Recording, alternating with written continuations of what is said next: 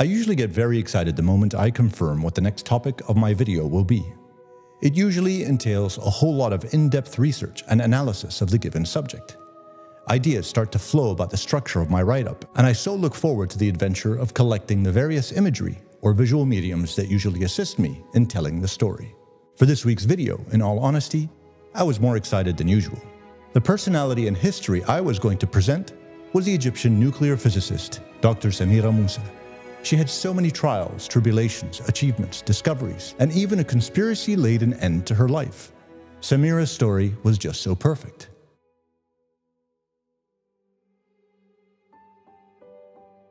Samira was born on March 3, 1917, into a humble yet intellectual family of six in a village called Simbu al Kubra. Early in her childhood, life became difficult as her mother would be diagnosed with cancer and would eventually pass away shortly thereafter. Samira's heartache forced her to find solace in learning, and from the very first of her school years, Samira excelled at all levels, ranking first nationally in her primary and secondary education. Samira was such a prodigy, it is said that in her ninth year of schooling, she rewrote her governmental school's official algebra textbook, thereby making it exponentially easier for her and her colleagues to grasp its contents. Samira had established for herself a clear educational journey in her mind. Although her grades allowed for it, she resisted the prestige and social default expectations by not applying to the College of Engineering at the Fuad I University, currently Cairo University, but instead applied and was accepted into the College of Sciences, and more specifically, into the physics program with a specialization in X-ray technology. Deep in her psyche, Samira was on a mission to find solutions for the treatment of cancer so that her mother's suffering and death would not be in vain. The physics program allowed for such a potential. Samira was highly talented in assimilating and challenging the various professors and knowledge being presented, and this caught the eye of her eventual mentor, Dr. Ali Mustafa Musharrafa, himself a theoretic physicist who had great international impacts on the development of quantum theory and the theory of relativity. In 1939, Samira would eventually graduate with a Bachelor of Science in Radiology, with first-class honors, and in recognition of her value to Dr. Musharrafa, the college dean at the time, Samira would become the first female associate professor in the College of Sciences. But Samira still, and more than ever, had a hunger in her for more knowledge, and a short year later, she would receive her master's degree in gas thermal convection, then followed by her PhD in atomic radiation in the mid-1940s. Her focus now was to excel in practice, and not strictly in theory. And with this shift in mindset, Samira made her mission statement known to the world. I'll make nuclear treatment for cancer as available and as cheap as aspirin. And so began her life in the university laboratories that were newly catered specifically for her ingenuity and vision. And subsequently, one of her most famous and valuable discoveries came to life. And that was the creation of an equation that would revolutionize the production of cheap nuclear technology, and more critically, for more common and less expensive metals, such as copper. But with her aggressive efforts to unveil new territories in nuclear physics, Samira felt a certain guilt towards the weaponized application of atomic technology, and more specifically, her newly discovered advancements in the field. Her witnessing the recent World War II ending atomic bomb use in Nagasaki and Hiroshima struck deep into her conscience. In an effort to alleviate her fears, Samira helped establish the Egyptian Atomic Energy Authority, and would take a leading effort in organizing the International Atomic Energy for Peace Conference, and was a key proponent of the banner Atoms for Peace that would eventually become the brand for many nuclear non-proliferation conferences in the decades to come. With her multifaceted efforts in atomic energy, Samira was granted a Fulbright Scholarship in Atomic Radiation in 1950, where she conducted research at the University of California, Berkeley, such a prestigious position, and her eventual pioneering success at UC Berkeley, much to the chagrin of her academic and scientific colleagues, Samira was granted visitation access to highly confidential US atomic facilities. As Samira's work started bearing more fruit, she was approached by US government officials who offered her a lucrative proposal in both becoming a US citizen and granted substantial funds and facilities to further study and research the nuclear domain. But she quickly turned down such nonsense and stated, Egypt, my dear homeland, is waiting for me. A few weeks after this episode, Three weeks after the Egyptian revolution that toppled King Farouk and the monarchy and replaced it with a military regime, Samira was on her way to the airport, back to Egypt, driven by an Air Force civilian escort named Arling Orwin Kressler, when the car suddenly veered off the road and flew off the edge of the cliff and crashed downwards from a 15 meter drop. Samira was killed instantly, 35 years young in 1952.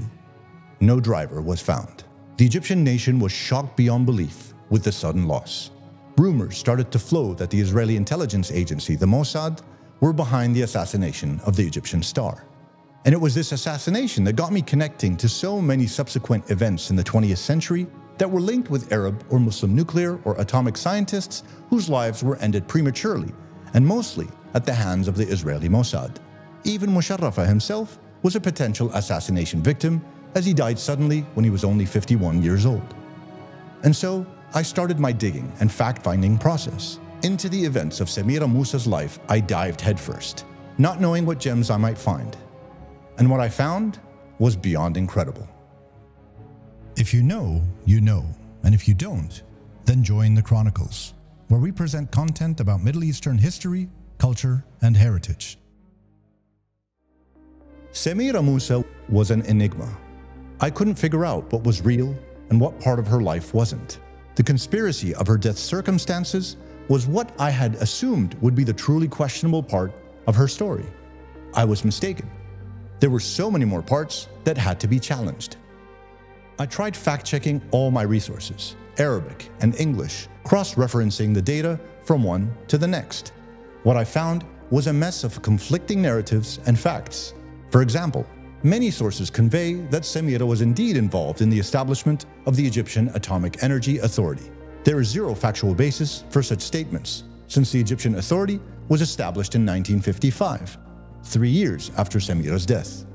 In the same year, 1955, was another key event that was linked to Samira, and that's when the Atomic Energy for Peace Conference took place. Again, it is stated in almost all evidence I have examined that Samira did indeed either initiate this event or had a major hand in its establishment.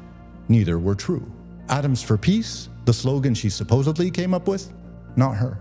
The other major concern I had pertaining to Samira's achievements was her receipt of a Fulbright scholarship sometime between 1946 and her death. Why 1946? Well, 1946 is the year the Fulbright program was signed into existence by Harry Truman. And in checking the program's database for previous beneficiaries of the scholarship, no Samira Musa can be found. No other spelling or composition of her name that I inputted would yield her identity. Another weak element to the narrative of Samira's supposed life of ultra success was when she was given scholarships or research grants in the United Kingdom and the United States. Apparently, she had not only attended the US based UC Berkeley, but also the St. Louis University of Missouri and the University of Tennessee Oak Ridge. Not one of these institutions recognizes Samira Musa as a student or researcher. I would for sure if she attended my university. Various sources lay claim that Samira's Fulbright scholarship was won to one of these educational institutions. Definitely not all three. The very strange and coincidental angle of these three locations was that they were all directly involved with the building and testing of the atomic bombs that were launched over Japan in 1945. Was this an attempt at her glorification by association with an immensely secretive program? Or was it purely a lazy and superficial enrichment to further pad an exaggerated greatness? As for the university or college in the United Kingdom that was supposedly attended by Samira, nothing. No information or name is available. All sources only state that she attended a British institution to further her atomic research. And this takes us to the final point of confusion her discovery. The famous equation that was to release and commercialize nuclear technology. Where is it? Where is this equation that would have made nuclear therapy as widespread as aspirin? Apparently, the equation wasn't about nuclear technology at all, but more applicable to an improved and cheaper way for X ray generation. We, as Arabs, don't need superheroes. We just want heroes that are strongly grounded in historic facts and are accurately represented. Samira Musa's story, up until after her receiving a PhD in atomic radiation in the 1940s, in its own right was an amazing and substantial success. Add to that the further advancements in her research to greatly improve X ray technology, immediate hero status. For sure.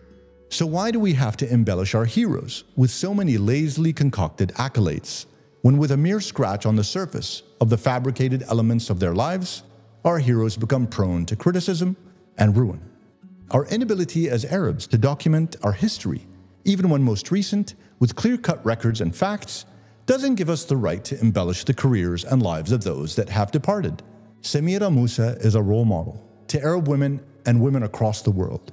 We must be honest towards her legacy, and equally, if not more so, honest with ourselves. Otherwise, we cast her away into the realm of falsehoods, irrelevance, and non existence. Samira Musa was an amazing person, extremely intelligent, gifted, and passionate about what the stars had chosen for her as a calling. She died too early and could have done wonders for medicine and technology, if only she survived. But ifs are a dangerous thing in our Arab culture, so let's just leave it at that and stick with what actually took place black and white, nothing more.